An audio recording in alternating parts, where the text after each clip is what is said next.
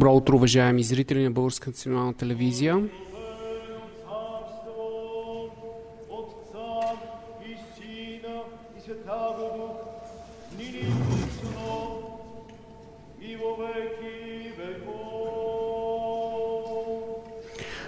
Чухме началният възглас на Светата Божествена литургия, която заедно ще проследим от столичния храм Света Неделя, от столичната митрополитска катедрала,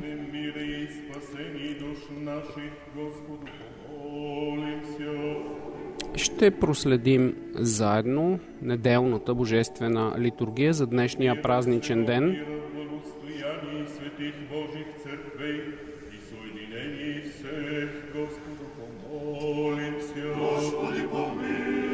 Чуваме началната велика ектения, която изпълнява дякона.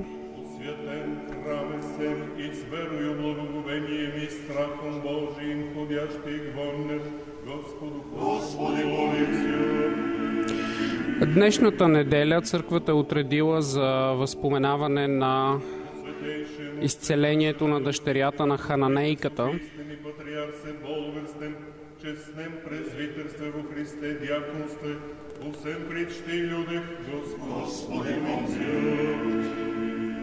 Неделята на Хананейката, защото ще чуем в евангелското чтиво и православнем българскем народе и у Христолюбивем нашем воинстве, Господи, помилуй. ще чуем разказа за това чудотворно изцеление на дъщерята на Хананейката.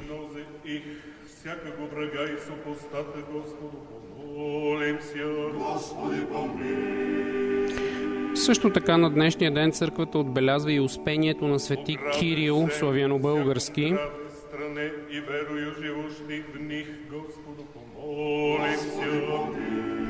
успението на свети Константин Кирил, философ, изобилии плодов земних и временных мирных, Господу, помолимся. Господи, който е един от празниците в църковния календар, посветен на светите братя Кирил и Методий.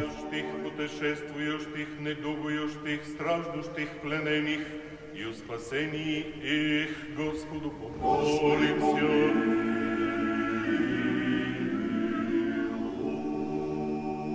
О, избавите се нам от всякия скорби, гнева, беди и нужди, Господу, помолимся.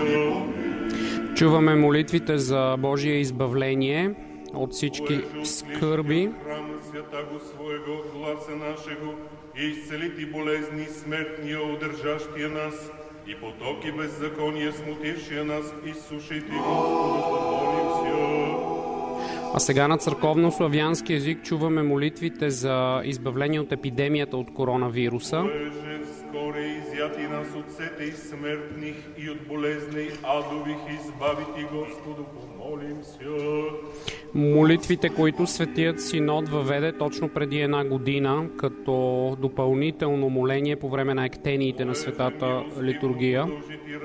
Своим покаяние време и небезгодно, яко неплодно и смоковницу посещи, но благосердием окупати и милосердие росою напоити, плодов покаяние и обращение нашего человеколюбно е ще ожидая. Господу помолимся. В тези молитви църквата се обръща към Всемилостивия Бог да продължи своето дълготърпение и милост към нас. Ступи, спаси, помилуй и сохрани нас, Боже, Твоею благодатью. Господи,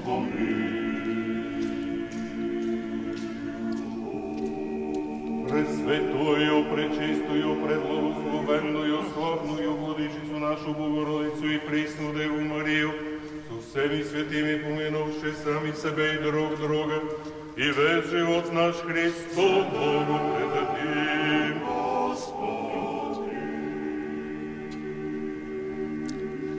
Яко подобает Тебе всякая слава, честь и поклонение Отцу и Сину и Святому Духу, нине и присно и во веки веков. Чухме Великата ектения в изпълнение на старшия дякон.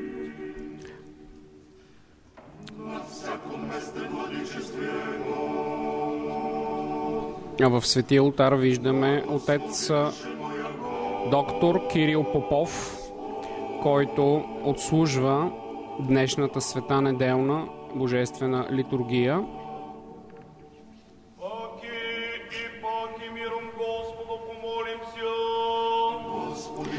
Отец Кирил Попов, който също има днес празник,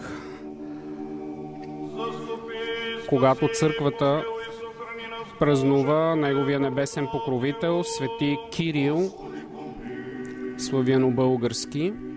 Така, с благословението на Негово светейшество, той ще отслужи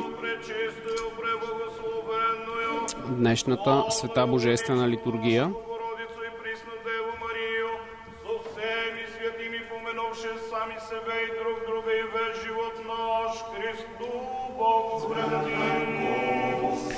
Чуваме сега следващата малка ектения в изпълнение от втория дякон. Яко Твоя держава и Твое царство и сила и слава, Отца и Сина и Святаго Духа нине и присно, и во веки веков.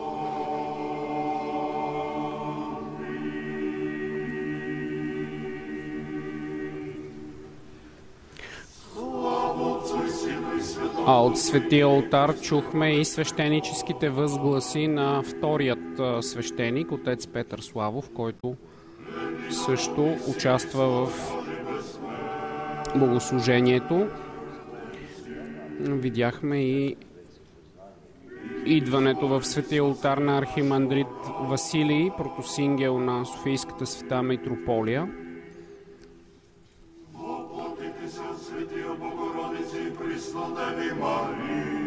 Сега чуваме антифонните песнопения. И след това химнат Единородни Сина и Слове Божий. А Виждаме иконографското изображение на светите братя Кирил и Методий с началните думи от Евангелието според свети Йоанн Богослов, които са били първите думи, преведени на славянски език според житието на свети Кирил, когато той получава Божието вдъхновение и Божието благословение, за да преведе Евангелието, свещеното писание и другите богослужебни книги, заедно със своя брат Методий, за целите на Великоморавската мисия.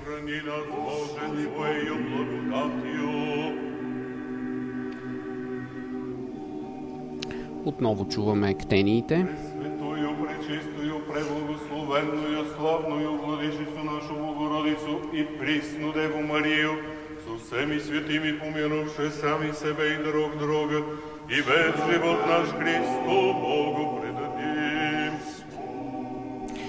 С тези ектени вярващите християни постепенно се издигат духовно в молитвата си към Бога.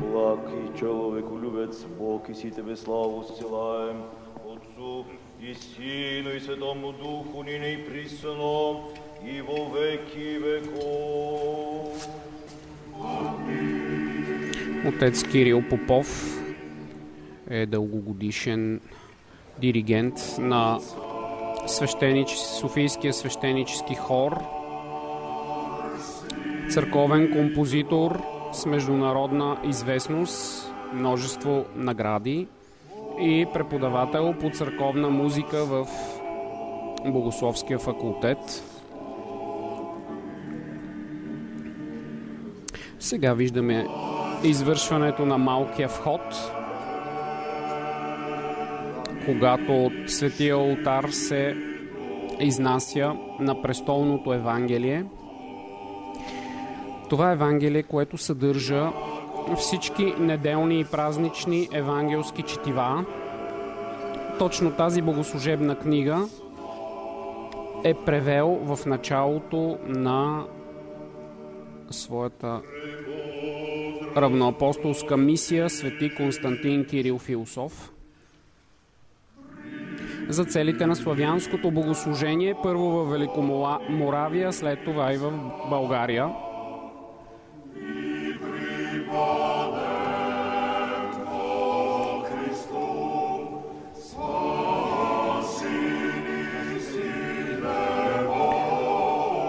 Чуваме химна, дойдете да се поклоним и да паднем пред Христа. Сине Божий, ти, който възкръсна от мъртвите, спаси нас, които Ти пеем Алилуя.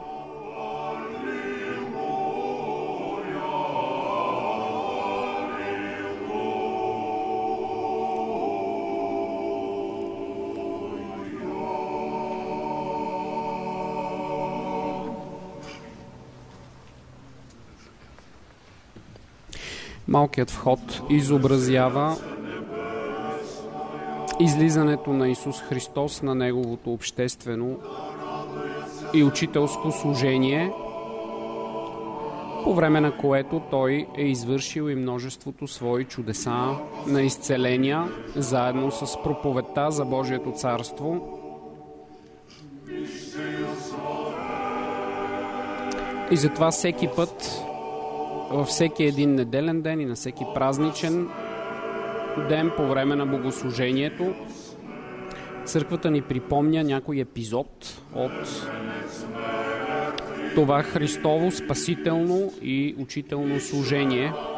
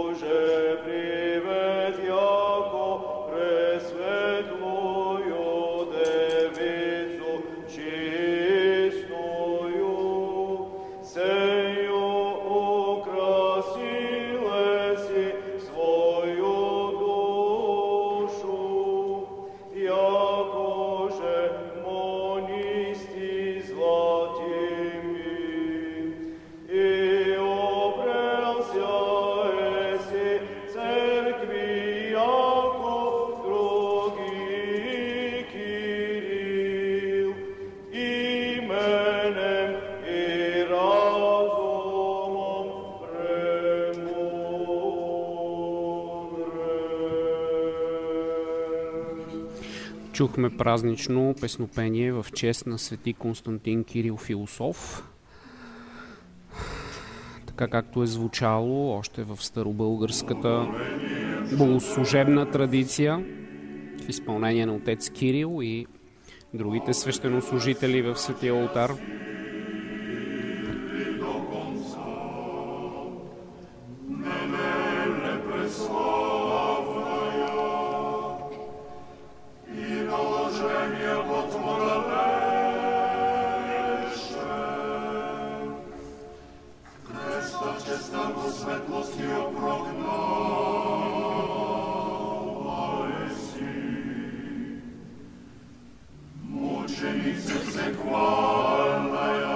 Сега чуваме песнопението за Света неделя.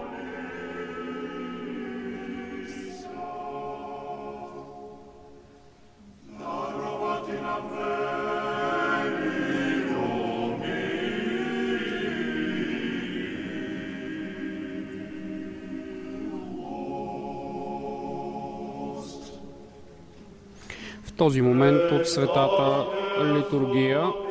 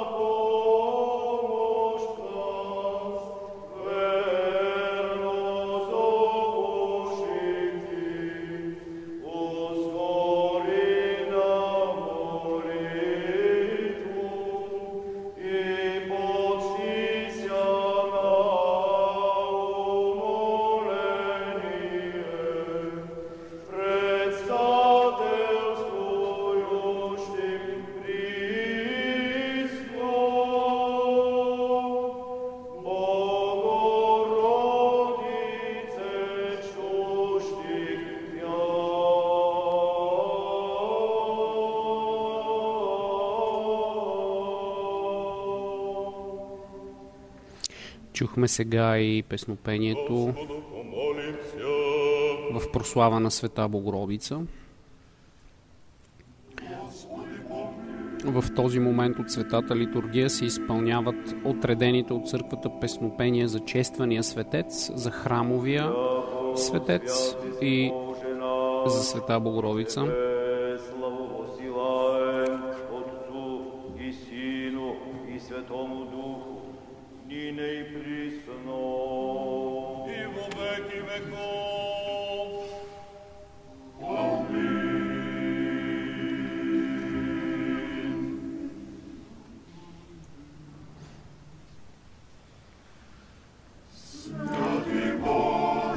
Сега следва Три святое, Три светата песен, която се изпълнява трикратно.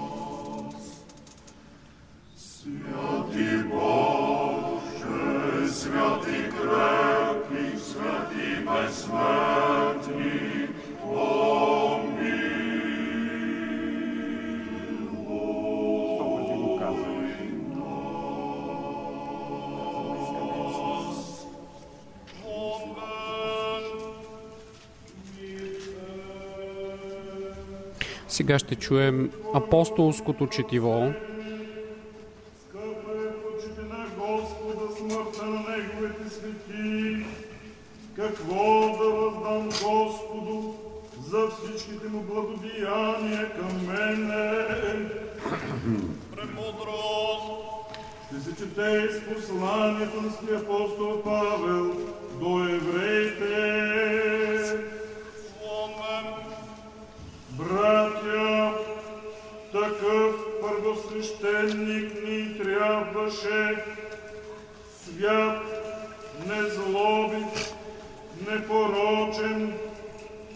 отделен от грешниците и станал по-високо от небесата,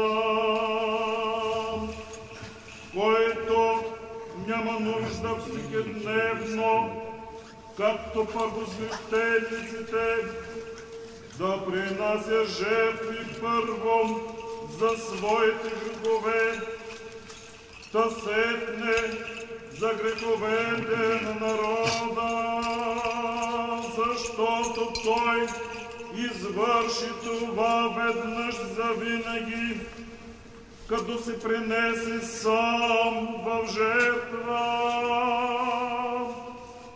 Защото законът поставя за първосвещеници човеци, които имат немощи, а клетвеното си в закона слово постави сина, който е навеки съвършен.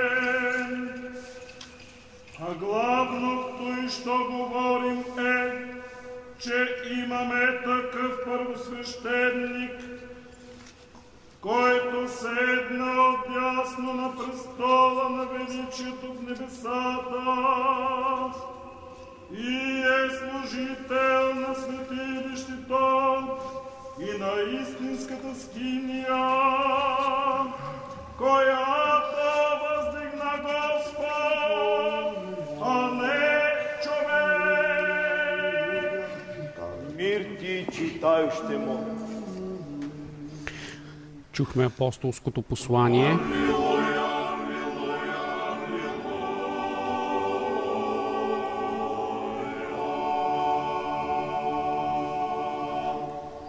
С получението за Исус Христос като истинския първосвещеник. Благовестителя святаго апостола и евангелиста Матея. Бог, молитвим святаго славного и сехвалного апостола и евангелиста Матея, да даст Тебе глагол, благовествующему силою многою, во исполнение Евангелия возлюбленого, Сина Своего Господа нашего Иисуса Христа, Сега ще чуем евангелското четиво. От Евангелието според Матей, 15 глава, от 21 до 28 стих. Премудрост, прости услышим святаго Евангелия. мир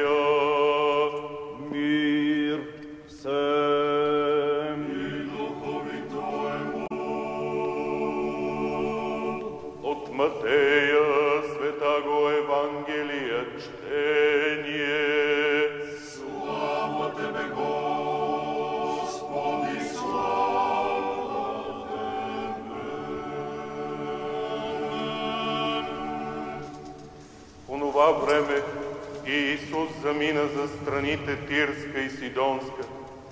И ето една жена хананейка, като излезе от уния предели, викаше към него и казваше Помилуй ме, Господи, сине Давидов, дъщеря ми зле се мъчи от бяс. Но той не й отвърна ни дума. И учениците му се приближиха до него, молеха го и казваха, отпрати я, защото вика подирени. А той отговори и рече, аз съм пратен само при загубените овци от дома Израилев. Но тя като се приближи, кланяше му се и думаше, Господи, помогни ми. А той отговори и рече, не е добре да се вземе хлябът от чедата и да се хвърли на псетата. Тя каза, да, Господи, ало и псетата ядат от трохите, що падат от трапезата на господарите им.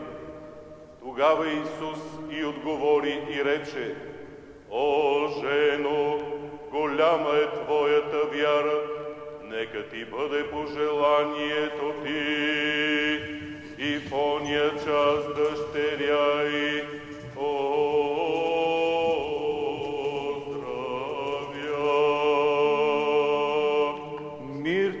Ти благовествующему.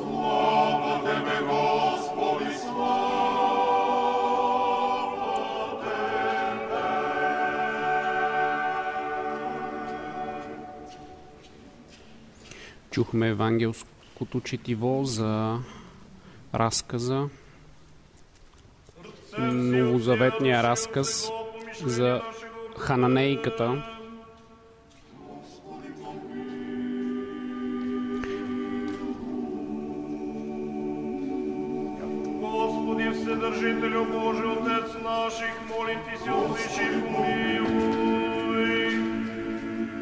Това събитие в Евангелието е изключително важно.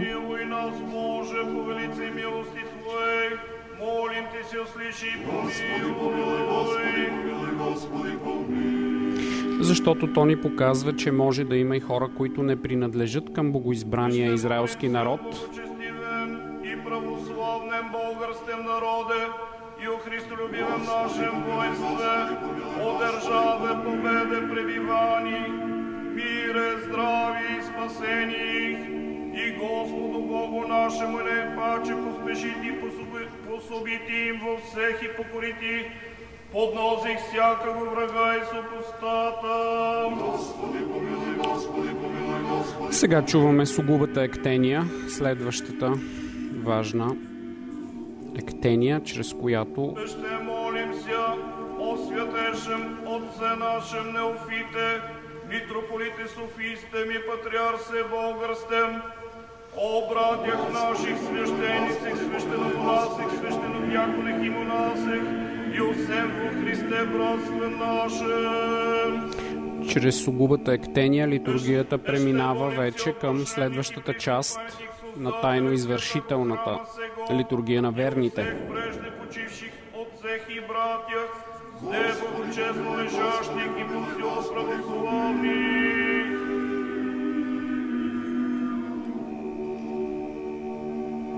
Согреших и беззаконствувахом и го ради праведни Твой гнев постиже нас, Господи Боже наш, и сен не обиде нас, и ко адовим вратом приближихом силно к Тебе, Богу нашему, болезни наши, умолно вопием, Пощади, пощади люди Твоя и не погуби до конца смиренно, молим Ти се услиши и помилуй. Чуваме и тук в сугубата ектения молитвите за избавление от епидемията от коронавируса. На тези две ектени са произнасят Тебе и беззаконствовахом, Владико, и аз ще покаяние не, не стяжахом предложение наше вместо покаяние прими. И на милост приложи се смертного недуга болезни и лютих яко се силен свободи раби Твоя, болезнено стенящия, молим Ти се скоро услиши и помилуй.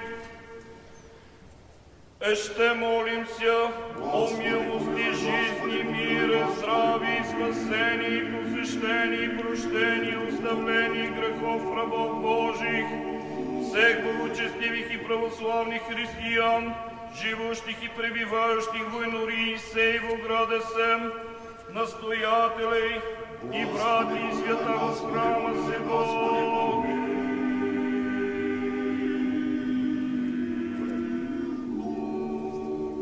Ще молим се о плодоносящих и добродеящих во святем и всечестнем храме Сем, труждающих се, поющих и предстоящих люди, ожидающих от Тебе велики и богатия милости.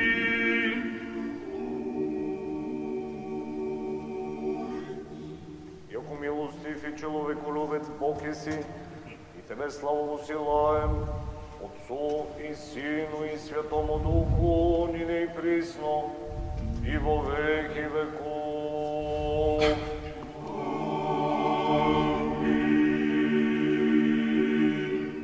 Паки и паки миром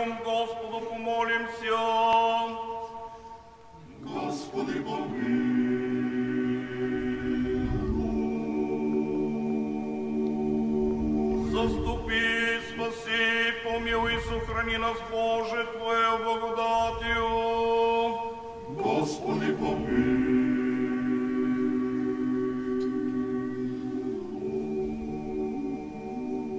Премудрост. Яко да под державою Твою всегда храними, Тебе славу восилаем, Отцу и Сину и Святому Духу, нине и присно, и во веки веков. След литургията на Словото, учителната част на Светата Божествена литургия, сега богослужението преминава към така наречената литургия на верните, втората тайно извършителна част, по време на която се извършва Великия вход и след това се пренасят и освещават подготвените хляб и вино като дарове за приношение пред Бога от името на вярващия Божий народ, като продължение и възпоменаване на тайната вечеря на трапезата Господня. Те биват принесени и претворени чрез молитвата към Светия Дух, за да се причастят всички вярващи с тези свети дарове, с истинските тяло и кръв Христови. Сега чуваме молитвата, която свещеникът произнася в началото на тази тайно извършителна част на Стата Божествена литургия.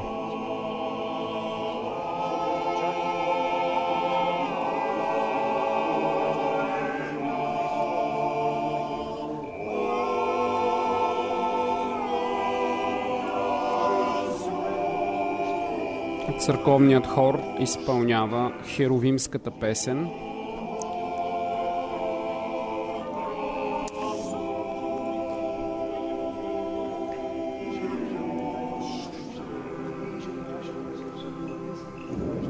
Свещеникът произнася молитвата на херовимската песен. с трикратно издигане на своите ръце към Бога. Той спросва Божията милост и Божието благоволение, както за него самия, така и за всички свещенослужители и вярващи.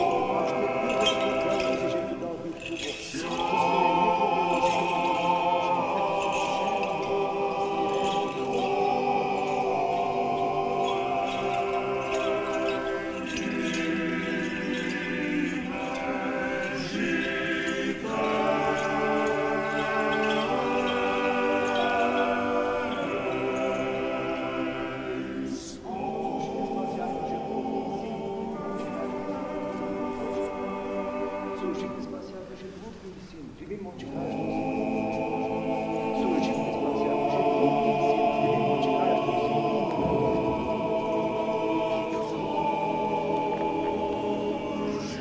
Простите меня, он грешный.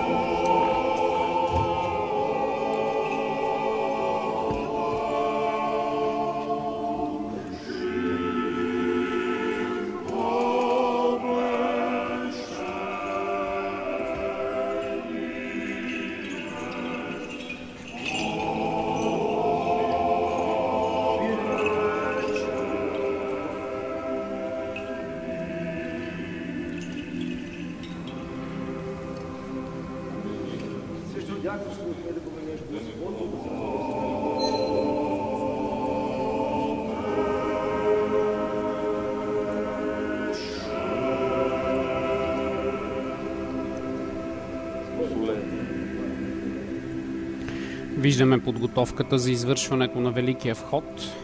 В Светия ултар свещенослужителите взимат агнеца, който е подготвен върху дискуса, хляба под формата на Божия агнец и светата чаша с виното.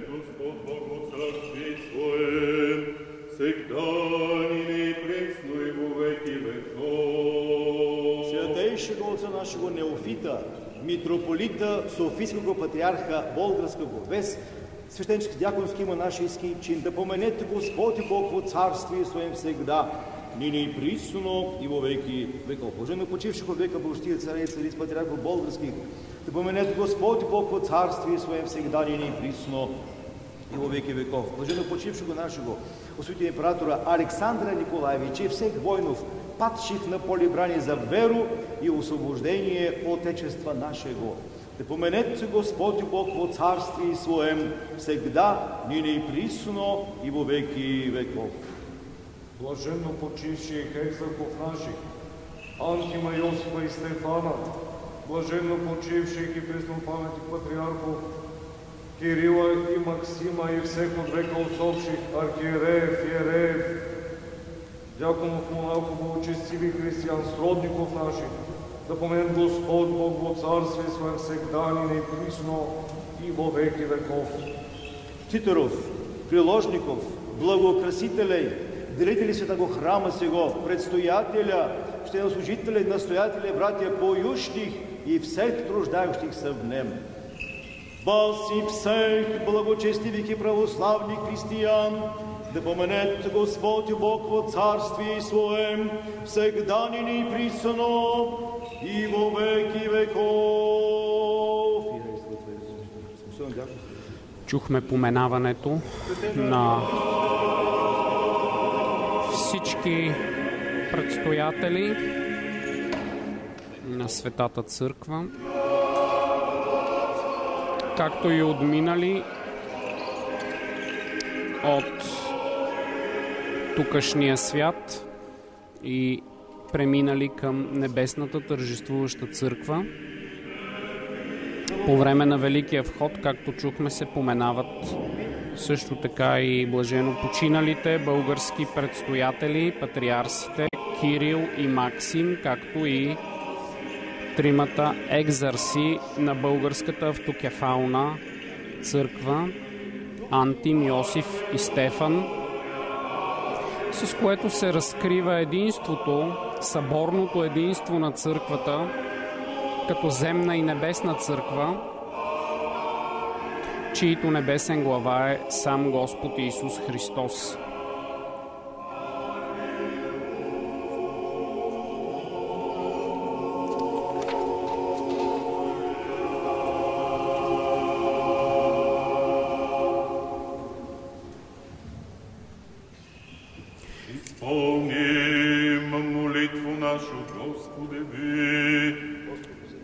Чуем просителната ектения за принесените вече и предложени драгоценни дарове на Светия престол. По предложених честних дарех Господу помолимся.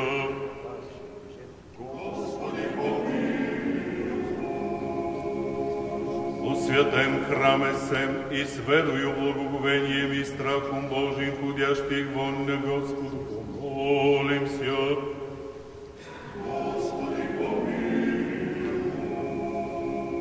О, избавите се нам от всякия скорби, гнева, беди и нужди, Господу, помолимся.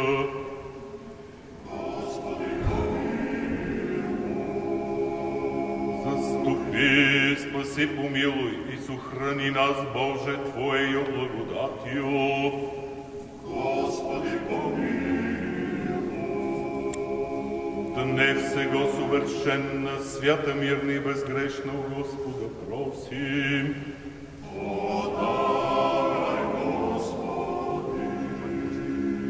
Ангела мирна, верна наставника, хранителя душ и телес наших у Господа просим.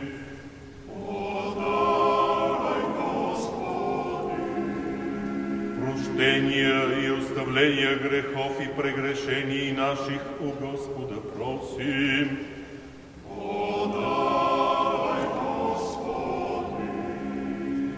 Добрих и полезних душам нашим и мира мирови у Господа просим. Проче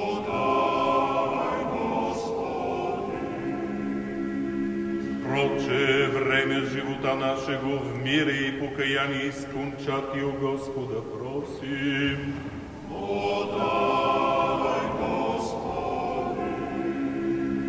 Християнския кончени живота нашего, безболезнени, непостидни, мирни и доброго ответа на страшнем судищи Христове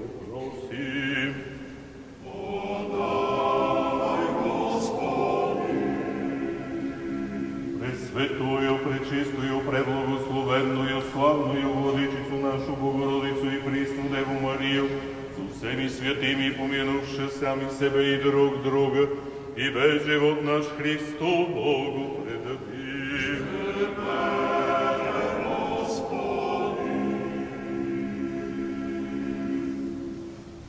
Щедротам единородного Сина Твоего с ним же благословени си, со пресветим и благим, и животворящим Твоим Духом нине и присно, и во веки веков.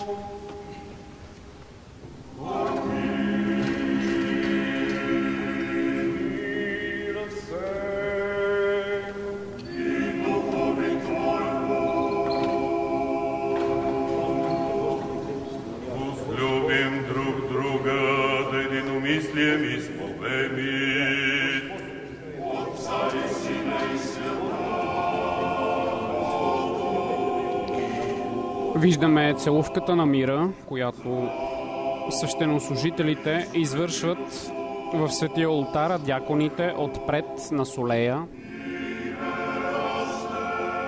пред светия ултар.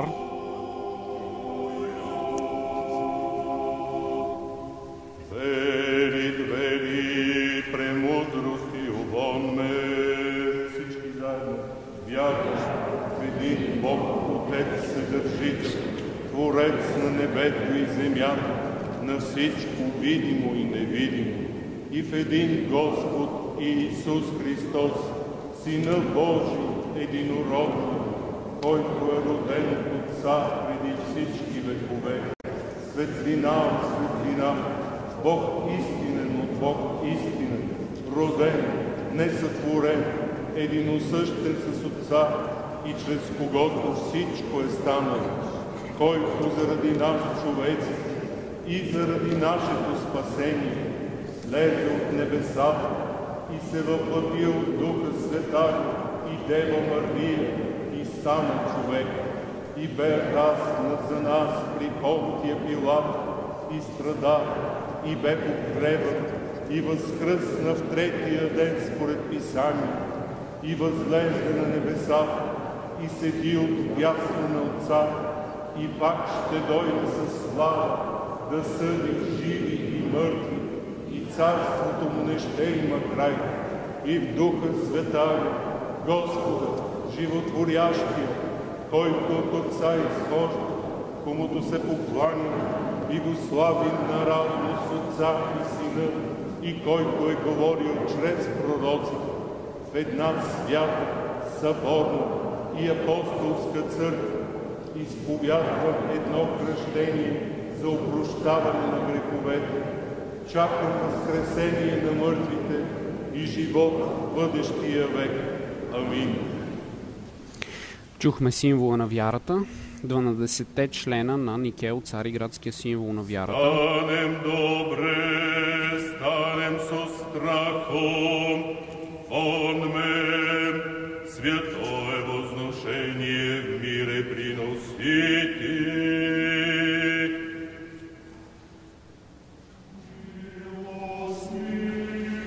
Сега започва Евхаристийният канон.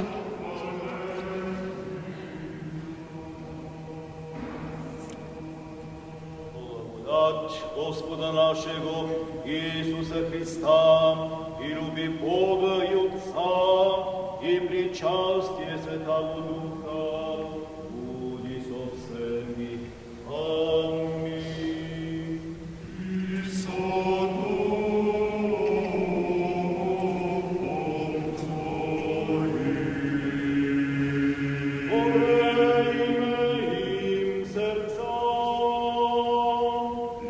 издигнем сърцата си към Бога.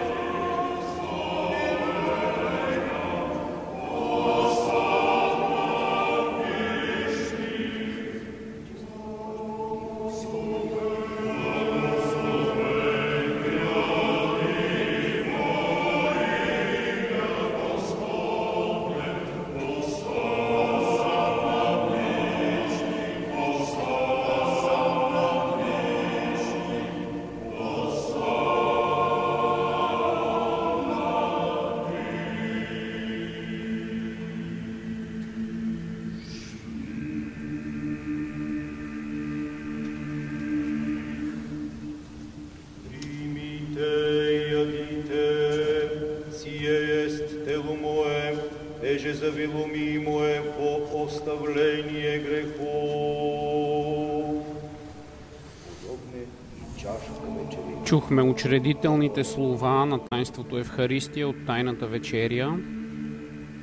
Пийте от нея вси, сие есть кров моя Нового Завета, яже за ви и за многия изливаемая во оставление грехов. Думите, с които Исус Христос учредява таинството Евхаристия, в този сакраментален момент, тайно извършителен момент, свещеникът произнася Тебе приносяще о всех и за вся. Тебе поем, Тебе благословим, Тебе благодарим, Господи, и молим Ти се. Светите дарове се издигат към Бога, с благодарствена молитва се принасят. И след това виждаме в момента призоваването на Светия Дух, така наречения епиклезис, И же Пресвета Господи, в трети час Господи, прослави, того благодати от нас, но и нас. Свещеникът трикратно призовава слизането на Светия Дух върху светите дарове,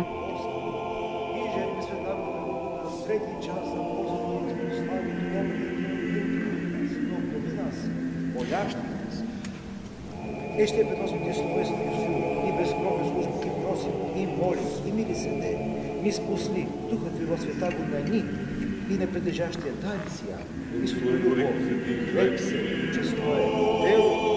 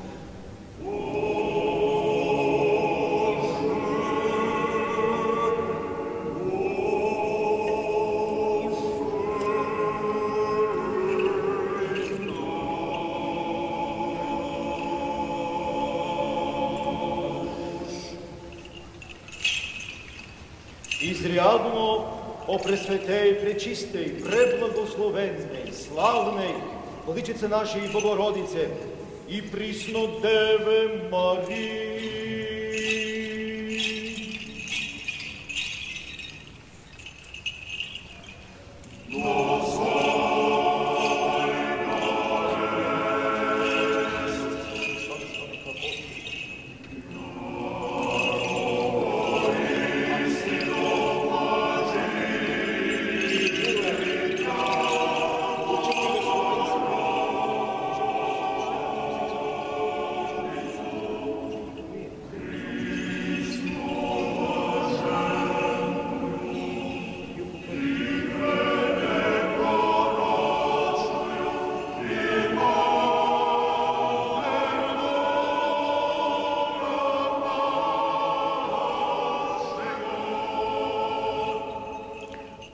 химнат в прослава на Света Богородица, достойно ест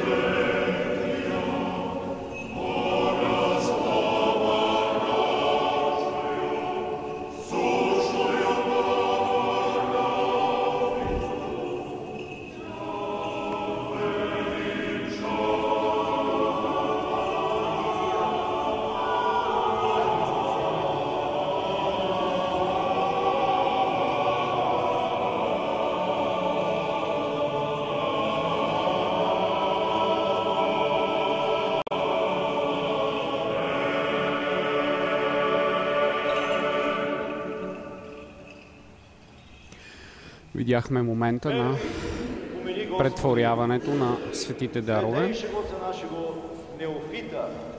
Митрополита Софийского патриарха Болгарского. Боже даруй святим Твоим церквам мире, цела, честна, здрава, благовествующа. Право правеща Слово Твое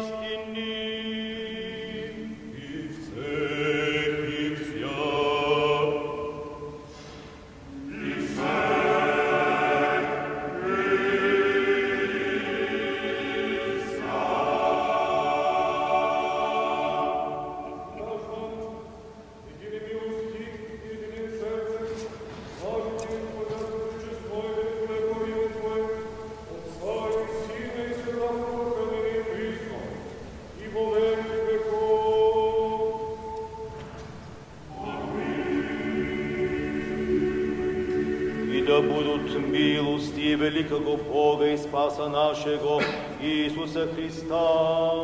со всеми вами.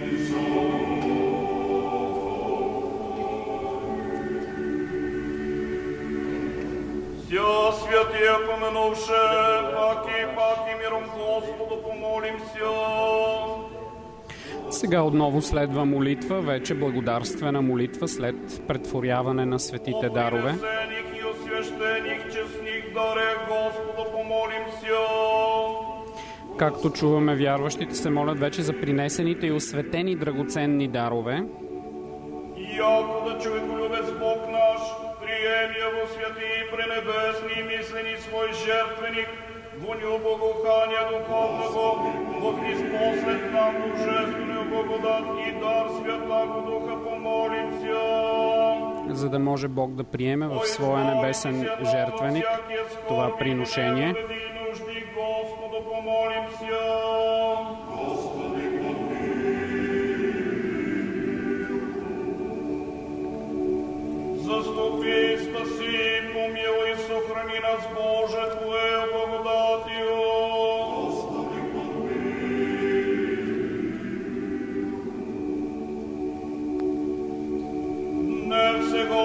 Совершенно, свято, мирно и безгрешно у Господа просим.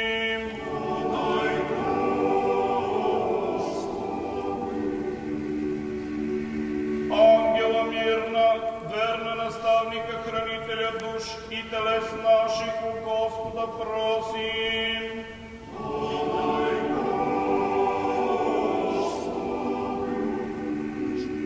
Прощение и оставление грехов и прегрешений наших у Господа просим.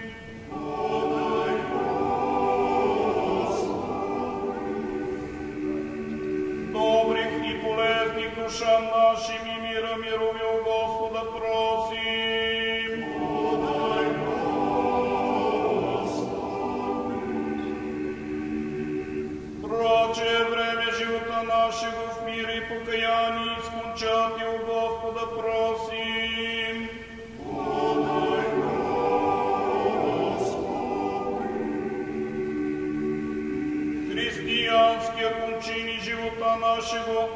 безболезнени и непостидни, и мирни, и доброго ответа на страшном судищи Христове просим.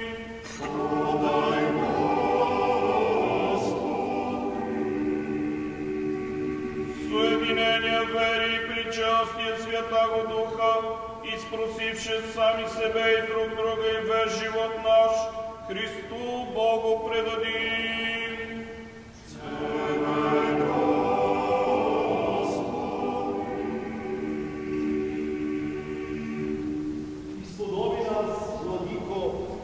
С дерзновение, неосужденно, смети призивати Тебе, небесного Бога Отца и глагола Ти.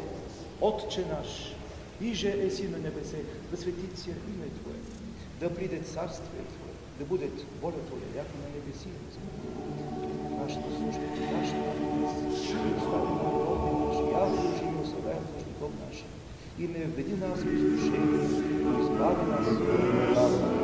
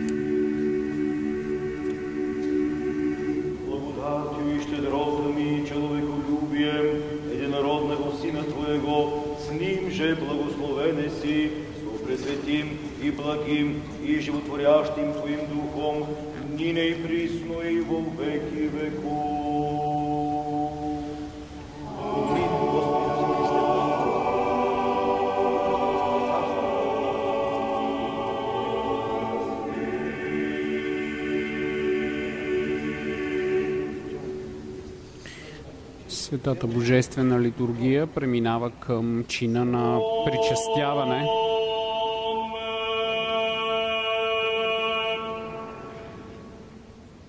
Да внимаваме, светинята е за светите.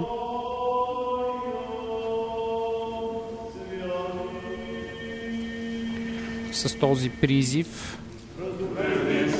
свещенослужителите призовават вярващите да се подготвят за приобщаване със светите дарове.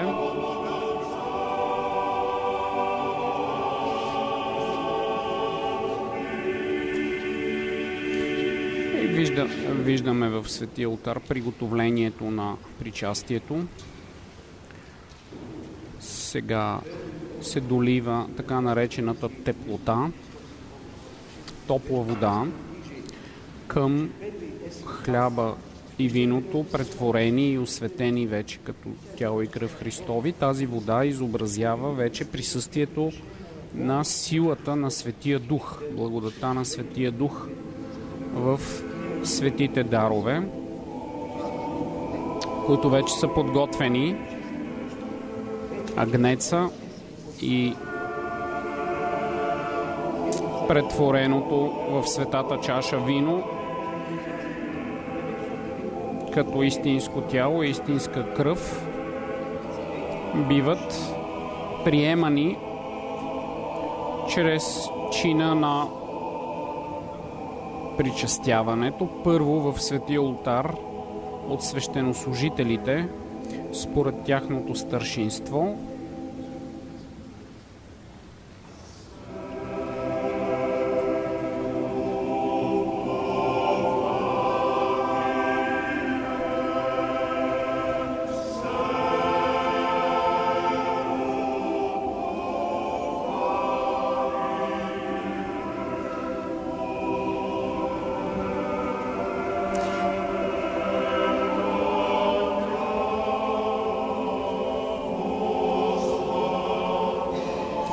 Архимандрит Василий като протосингел на Светата Софийска митрополия се причастява в Светия Олтар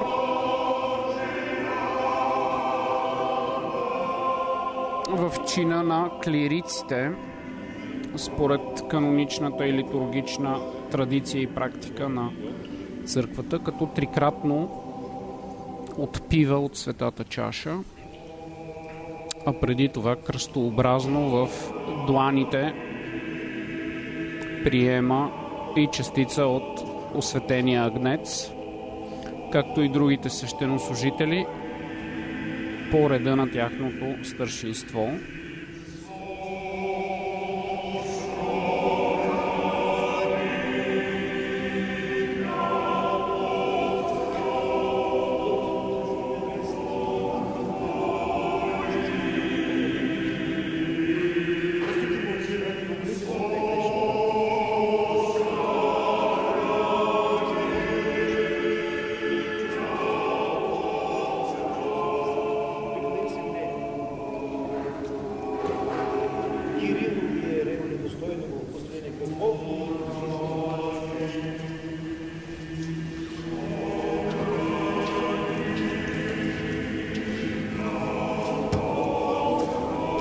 През това време църковният хор изпълнява така наречените причастни песнопения,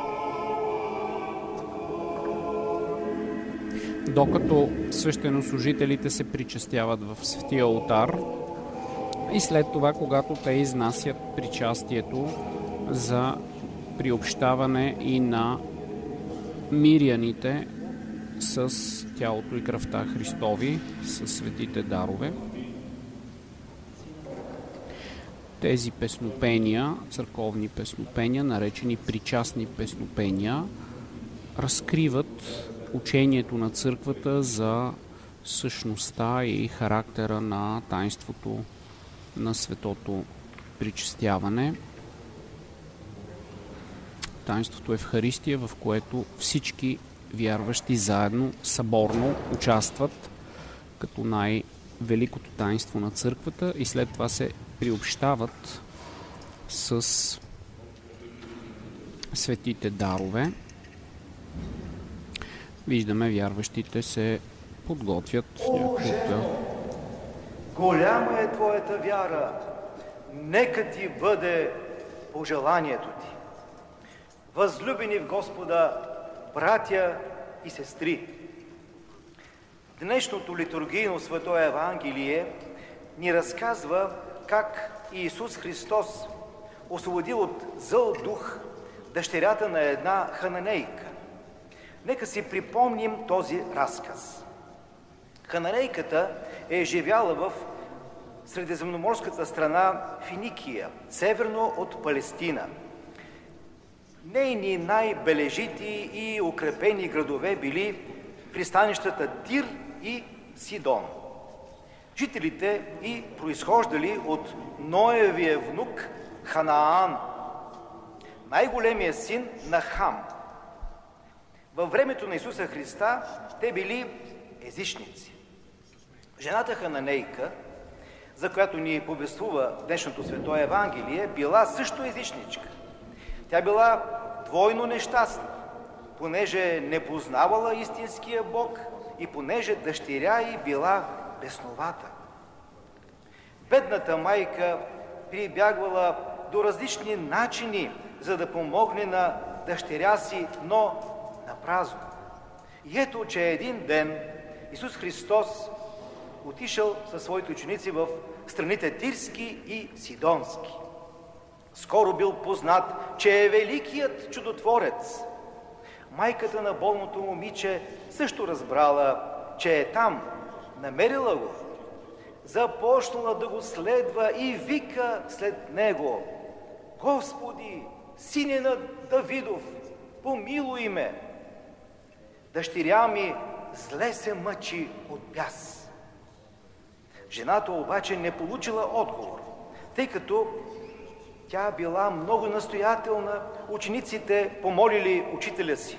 Отпратия, защото вика подирени. Тоест, изпълни молбата и нека си иде вкъщи.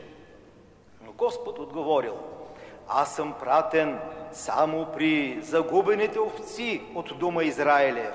Тоест, моята лична дейност се отнася преди всичко за израелския народ. Едва след това и езичниците могат да вземат участие в изкупителните дарове. Хананейката обаче не преставала да вика, застанала пред Исуса, паднала на колене и го молила се сърдечно, Господи, помогни ми! Тогава Спасителят ти дал странен отговор. Не е добре да се вземе хлябът от чедата и да се хвърли на псетата. Това било изречение пословица. И Господ е приложил тук. Чедата на царството са иудеите, а псетата са езичниците. Отговорът Исуса Христа звучал отблъскващо и поради това бил ново тежко изпитание за жената, но тя го издържала.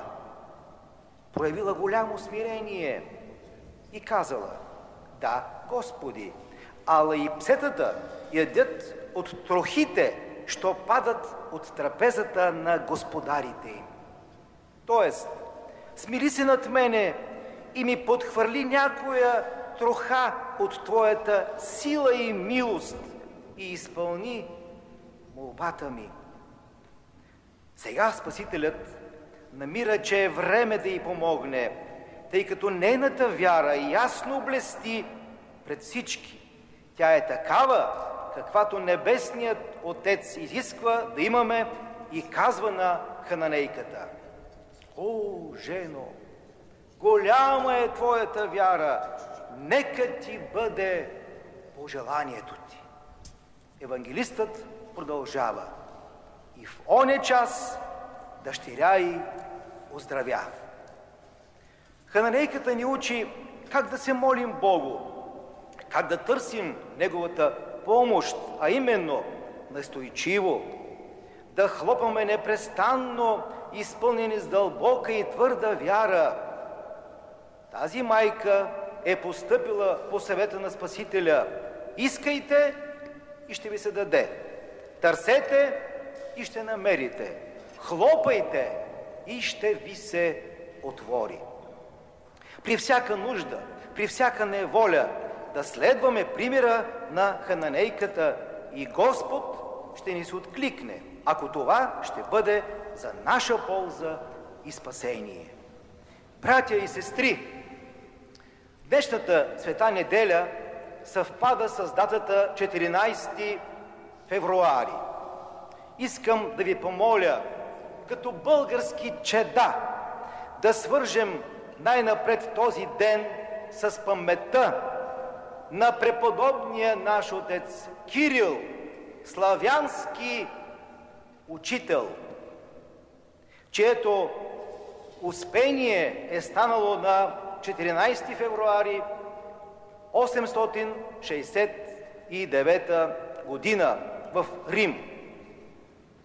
Свети Кирил, заедно със своя брат Свети Методий, са били в този град, за да получат от папа Адриан II благословение на свещените славянски книги и богоугодното просветителско дело. Тук Константин, философ, заболял тежко. Приел монашество с името Кирил и 50 дни по-късно починал. Бил погребан с големи почести и по молба на свети Методий бил погребан в църквата свети Климент, папа римски. Всички ние знаем, че свети Кирил е открил именно светите мощи на свети Климент Папа Римски. Ние сме честити, че и в нашия столичен град вече имаме свети мощи на свети Климент Папа Римски, които се пазят в нашия столичен храм, древен света София. Скоро след успението на свети Кирил започне да стават чудеса на гроба му.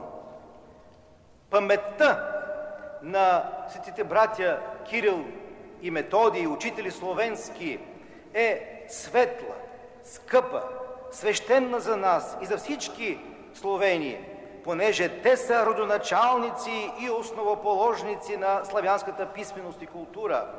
Превели се от гръцки на старобългарски язик книгите на Щеното писание и богослужебните книги.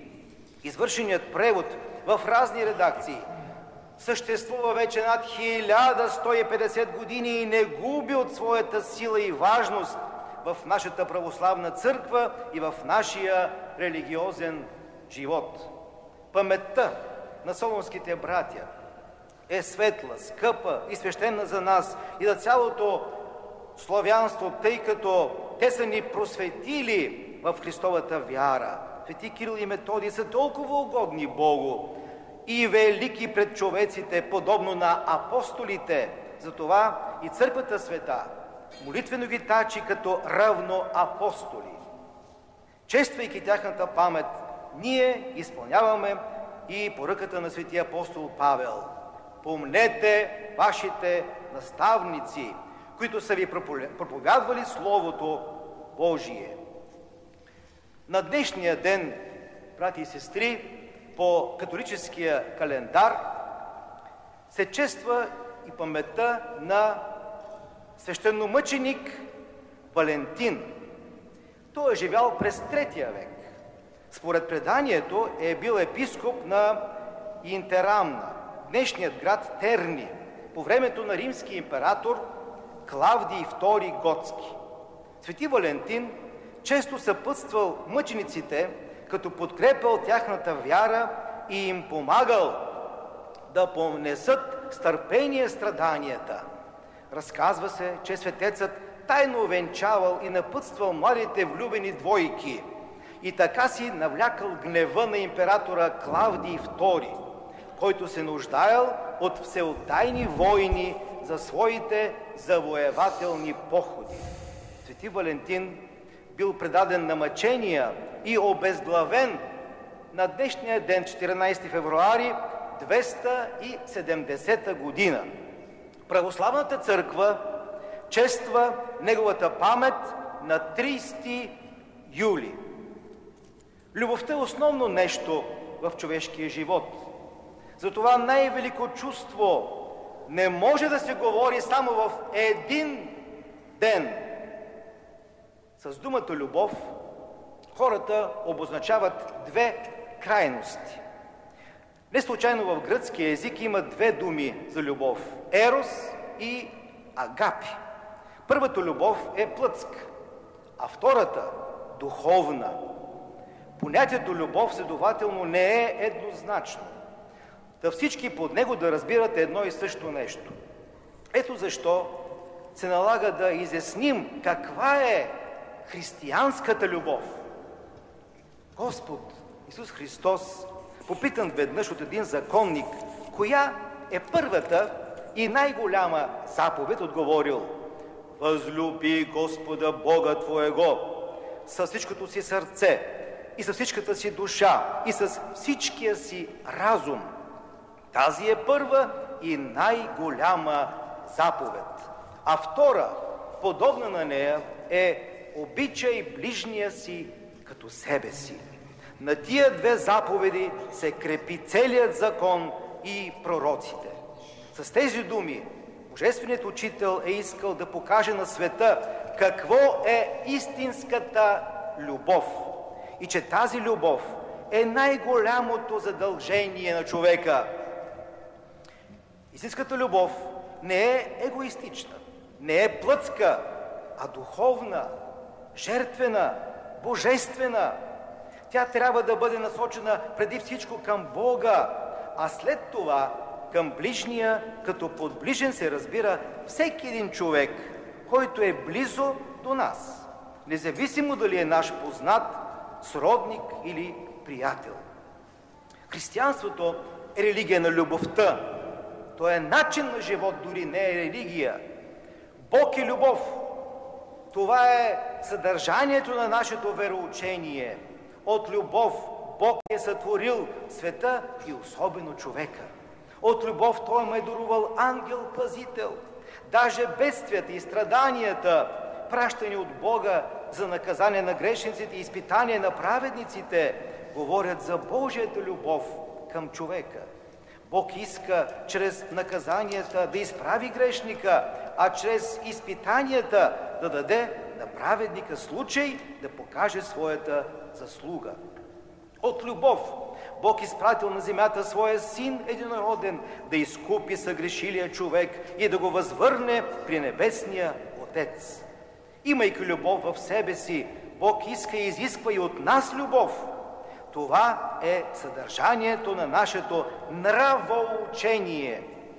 Човекът, който е създаден по образ Божия, това е безсмъртната човешка душа, трябва също да стане любов, ако се съедини с извора на любовта, Бога.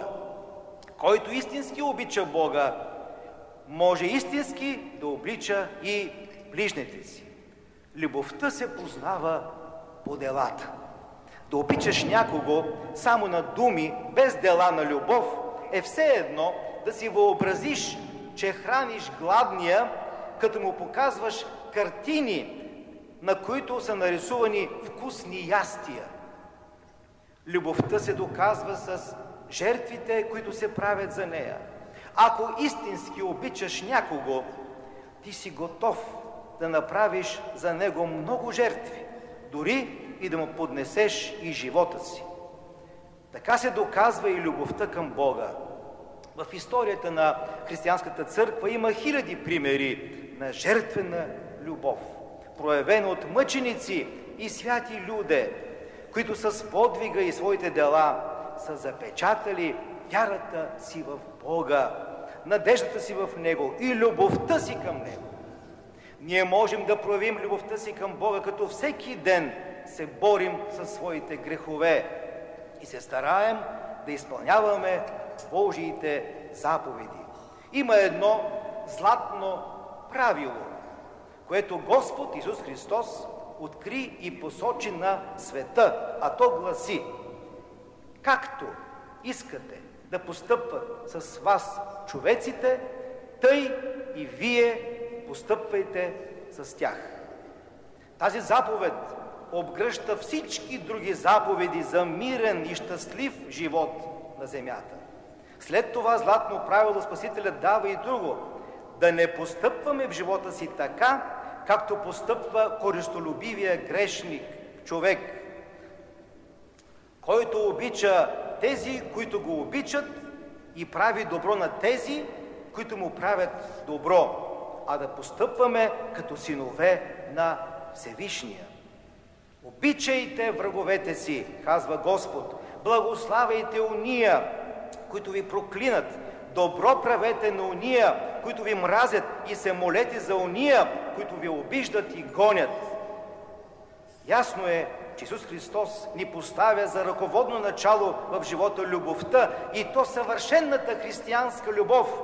Тази, за която говори Светия апостол Павел в своето първо послание до коринтяни. Тези думи са станали известни като хим на любовта. Да говоря всички езици човешки и дори ангелски. Щом любов нямам, ще бъда мед, що звънти, или кимвал, що звек. Да имам дар пророчески и да зная всички тайни, да имам пълно знание за всички неща и такава силна вяра, че да мога и планини да преместям. Щом любов нямам, нищо не съм. И да раздам всичкия си имот, да предам и тялото си на изгаряне. Щом любов, любов нямам, нищо не ме ползва. Любовта е дълготърпелива, пълна с благост. Любовта не завижда. Любовта не се превъзнася, не се гордее, не безчинства, не дири своето, не се сърди. Зло не мисли, на неправда се не радва, се радва на истина. Всичко извинява, на всичко вярва, на всичко се надява, всичко претърпява любовта никога не отпада. Брати и сестри, наистина, всемогъща по своето влияние и действие е християнската любов. Да обичаш другите на, еван... на евангелския език означава да обичаш правилно себе си. Този, който мрази ближните си, мрази несъзнателно себе си, понеже чрез омразата си към тях готви гибел за себе си. Може ли да бъде щастлив този, който ненавижда своите брати и сестри, който завижда на техните успехи и постоянно мисли как да им напакости? Само този човек може да бъде щастлив, който прощава от сърце и който изгражда дълбоко в душата си олтар на великата любов, на великото служение за благото на хората и за слава Божия. Амин. Чухме празничната проповед на отец доктор Кирил Попов, посветена на днешното евангелско събитие, което се възпоменава в църквата, неделя на Хананейката, изцеряването на дъщерята на Хананейката. празника Успение на свети Кирил, достоинството и служението на светия наш равноапостолен отец и първоучител Сти Константин Кирил Философ и поучение за християнската любов, за християнската евангелска божествена любов, която църквата проповядва винаги като благовестие за Христовото учение. Сега предстои причастяването на вярващите християни, чинопосланието, чинопоследованието за приобщаване към светите дарове, което се извършва след освещаването.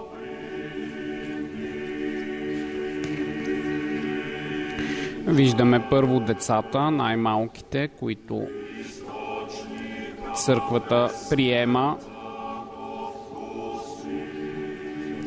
по думите на Спасителя, че който иска да влезе в Царството Божие, трябва да се смири като дете с чистотата и искрената вяра да приеме Словото Божие, всички богооткровени истини, защото, както се казва в Евангелието, много пъти Бог открива своята премъдрост на младенците и я скрива от мъдрите на този свят, мъдрите в този век, с което ни показва, че само посредством смирено мъдрието, чистотата, невинността, искрената и силна вяра на децата, която се характеризира с доверие и изпълнение на това, което те приемат, можем и ние да бъдем истински ученици